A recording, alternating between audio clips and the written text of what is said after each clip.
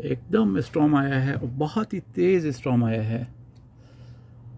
ये आज सैटरडे है एटीनथ मार्च और लाइक साढ़े बारह का टाइम है। बहुत तेज़ हवा के साथ है।